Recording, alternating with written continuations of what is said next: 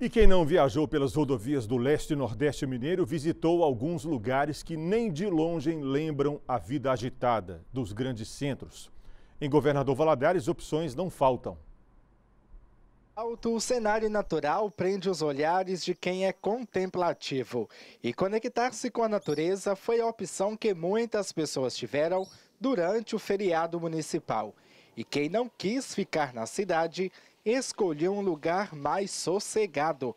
Nesta pousada, na região da Ibituruna, amigos estavam reunidos.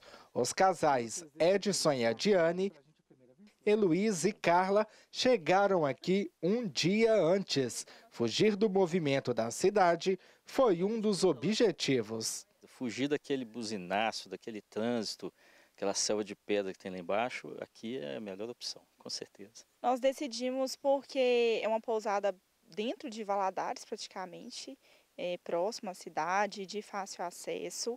E como a gente teve de descanso somente o dia de hoje mesmo, no caso feriado municipal, é, a gente achou essa opção próximo da cidade, que a gente ia conseguir ir e voltar, né? De forma tranquila, e a gente optou por passar aqui esse dia.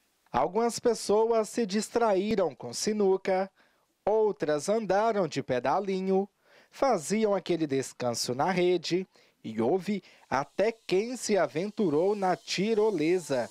De acordo com a dona da pousada, a movimentação foi boa entre ontem e hoje. Alguns preferiram deitar na rede simplesmente para descansar, outros é, fazem esporte aventura, né, esporte de lazer vão, fazem trilha, caminhada, tirolesa, pedalinho, caiaque, né? Então, assim, bem movimentado para quem gosta de movimento e tranquilo para quem gosta da tranquilidade. Ainda segundo a proprietária, a movimentação nos feriados é boa e isso fomenta o turismo local. Tanto as pessoas de Valadares que vêm, quanto a, maioria que vem é a pessoa de fora, né?